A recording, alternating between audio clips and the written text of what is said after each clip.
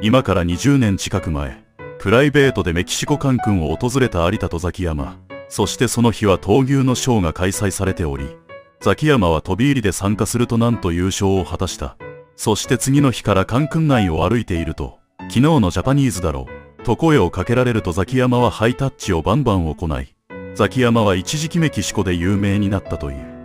またザキヤマが若手時代、衣装について有田に相談すると、カジュアルな服って2回来たらまたそれだなってバレる。それなら衣装を決めちゃった方がいい。お前は賑やかな男だから。賑やかって言ったら結婚式の二次会。白シャツ白ネクタイで行け。とアドバイスをもらったことで、ザキヤマは今の衣装になったのである。